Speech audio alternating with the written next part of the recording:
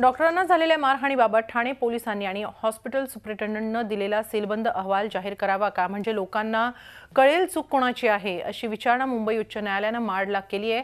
तर धुळ्याच्या वरिष्ठ डॉक्टरांनी आणलेला अहवाल प्रतिज्ञापत्रासह सादर करावा असे आदेशही न्यायालयानं दिलेत.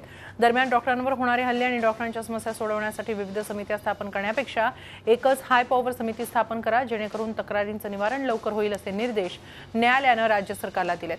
पुढील सुनावणीच्या वेळेस या हाय पॉवर समितीत कोण असतील त्यांचे अधिकार काय असतील हे सादर करावेत असंही मुंबई उच्च न्यायालयानं राज्य सरकारला सांगितलं. झी चोवीस तास रहा एक पाऊल पुढे.